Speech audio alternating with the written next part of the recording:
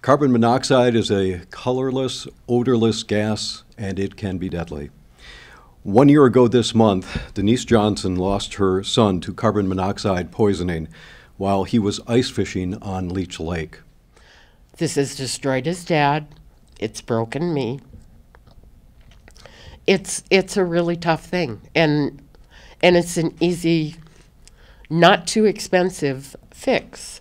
And I would hope that anyone who sees this, anyone who knows of Jared's death, of anyone else's, I, I would hate to see this happen to any family because it's it's not necessary. It never needs to happen. Do we have a lot of unanswered questions? Of course we do.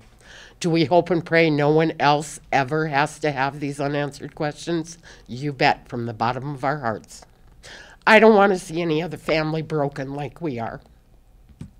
It's not a good place to be. I, I think all of us are just hoping that, um, you know, we can bring some, something good out of this. My brother would, um, you know, would want that, um, you know, that, so nobody else has to go through, um, what we have. Carbon monoxide is the leading cause of poisoning deaths, not only in the United States but worldwide. Um, accidental poisoning deaths.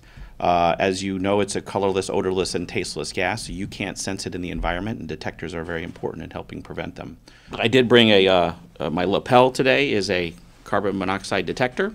Uh, when I heard about this media conference, I went online and purchased this for about hundred dollars, uh, and it's a uh, high sensitivity, uh, low level carbon monoxide detector that can help save lives. And I encourage everyone to be aware of carbon monoxide poisoning, not only in your homes and your garages, but when you're out uh, enjoying the 10,000 lakes of Minnesota, whether it's in an ice fishing house or in a boat.